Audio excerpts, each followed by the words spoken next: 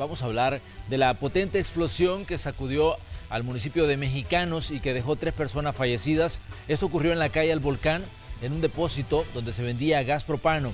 En ese lugar, ahí donde se dio esta explosión, se encuentra nuestro compañero Ernesto Cornejo, que nos informa de los últimos detalles de todo lo que ha pasado durante ese día.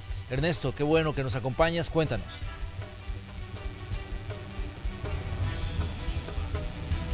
Buenas noches Manuel y buenas noches a los amigos televidentes de Noticiero Hechos. En efecto, estamos en el lugar de los hechos desde primeras horas de este día viernes, desde que se nos informó de esta explosión en una venta de gas propano. Le hemos dado seguimiento y nuestro compañero Enrique López les ha preparado el siguiente informe de todos los pormenores de lo que se vivió acá en este lugar. Veamos a continuación la siguiente nota.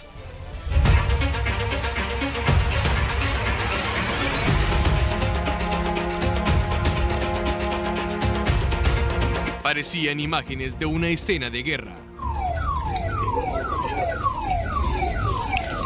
Fueron los daños que causó una fuerte explosión en una distribuidora de gas propano ubicada sobre la calle al volcán.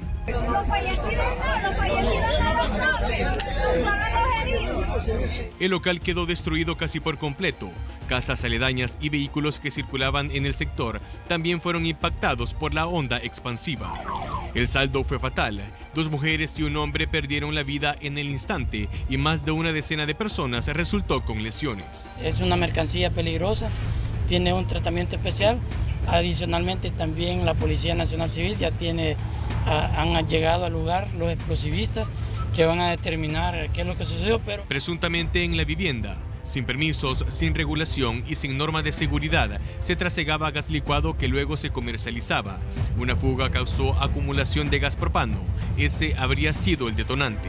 Sí, a simple inspección eh, eh, fue por la mala manipulación de, la mercancía peligrosa. Nuestra, nuestra hipótesis es que fue una acumulación de gas, ignorándose cómo sucedió todo, si fue por algún, por algún descuido o fue accidentalmente.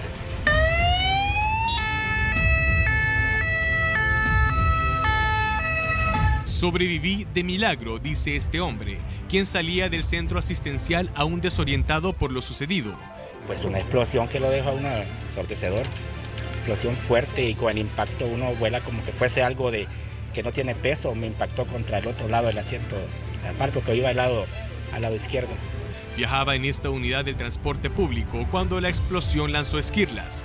Un trozo de vidrio cortó su cuello y perdía sangre rápidamente. Logró salir del bus y ser atendido. Y se me una bomba o algo, entonces me, logré salir y, como pude llegué aquí para que me atendieran. ¿Qué tipo de lesión sufrió? Pues cerca de yugular, una cortada de, cerca de 5 centímetros.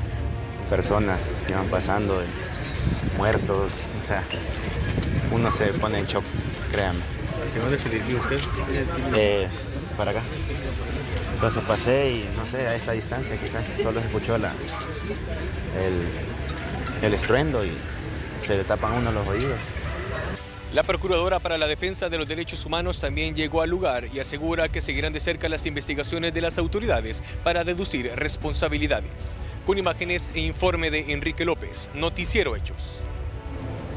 4, 3, 2,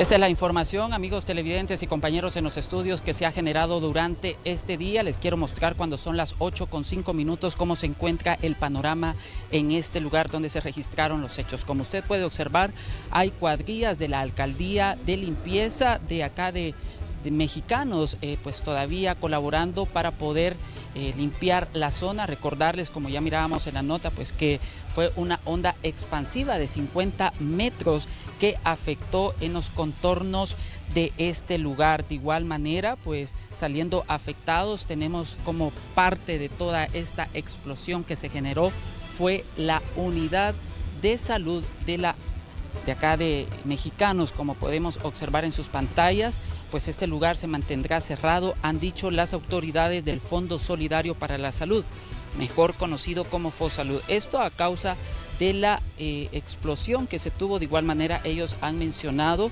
que específicamente la Unidad Comunitaria de Salud Familiar de Mexicanos, ubicada en la colonia Palmira, final pasaje 14 de julio, estarán atendiendo a las personas que normalmente se llegaban a este lugar. Por supuesto, es parte de lo que se ha generado en horas de este día viernes en este lugar, pues lamentable el hecho, las autoridades como cuerpos de bomberos todavía continúan investigando qué podría haber originado, cuáles son las hipótesis que se pudieron haber tenido en torno a esta explosión.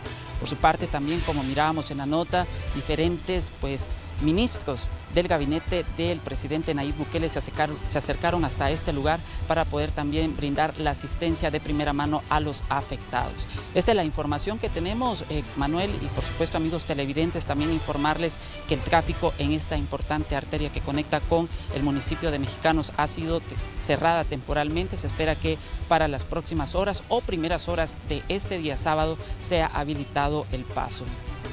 Exactamente, Ernesto, estamos hablando de la calle del Volcán, que es la que se ha cerrado producto de esta potente explosión.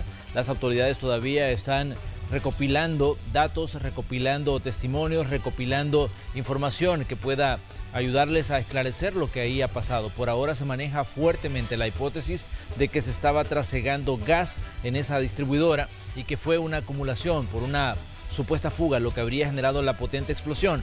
Un dato importante es que se dio la explosión, pero no hubo fuego. Recordemos que el gas es altamente inflamable y no hubo fuego, solo la explosión que destruyó, como decía Ernesto Cornejo, 50 metros